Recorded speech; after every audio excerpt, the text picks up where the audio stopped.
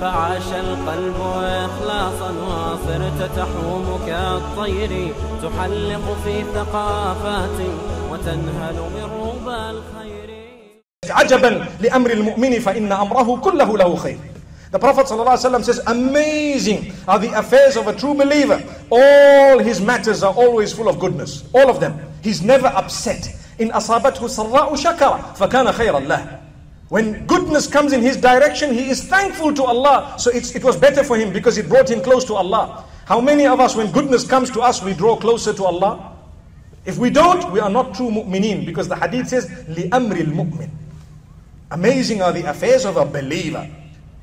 So if we are not, if we, if if we have a promotion at work and a salary increase and we have millions and billions, our business deals are going right and we've bought the cars we wanted, the houses we wanted, the luxuries we wanted, the perfumes we wanted, the accessories we wanted, the abayas we wanted, whatever else we wanted. We've got all of that, but it did not bring us closer to Allah, then we have lost. We cannot call ourselves true believers. We might be believers, but not true believers. Because this hadith says, when goodness comes to the direction of a true believer, you find him thankful, it brings him close to Allah. Shakar.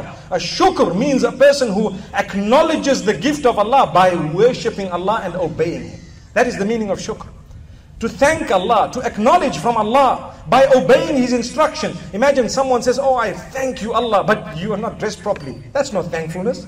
Imagine a, you give a person a million dinar and they say thank you very much, thank you very much, and they know that you don't like, for example, uh, let's let me give you a simple example. They know that you don't like sour milk, for example. Just a thumbs up, just an example off the cuff.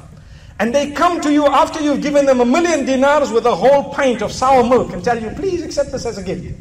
And you're so upset. But you know I don't like this. You know it's bad. That's one example. The other example is imagine you give a person a million dinars and they come back and throw eggs at your house. What would happen? Is that gratitude? But they've told you, thank you, thank you, really I appreciate it. Their mouths said something, but their deeds are showing you something else.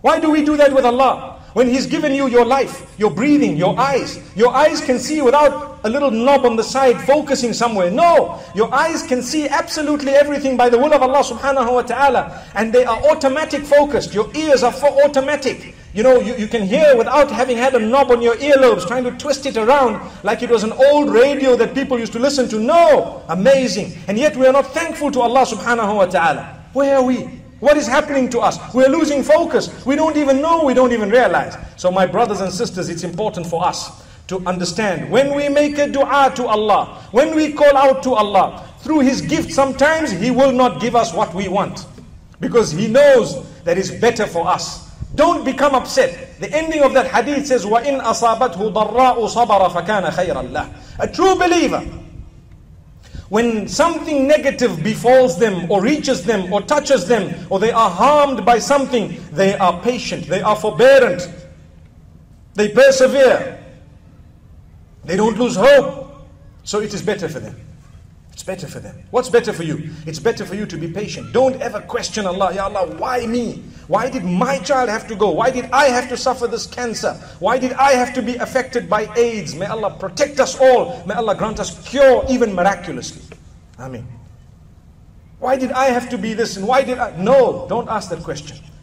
You thank Ya Allah, if this is what you want, if this is how you want me to go, I do not compete with you, you are my maker. But I ask you to cure me through your mercy and your power. That's the proper way. Ya Allah, if this is how you want me to go, I'm not going to compete with you because you are my maker. You made me in the first place. So you I belong to you. You own me totally. You own me completely, Ya Allah. But I beg you to grant me cure, Ya Allah, from this disease I have. I mean, that's the way we should be looking at it.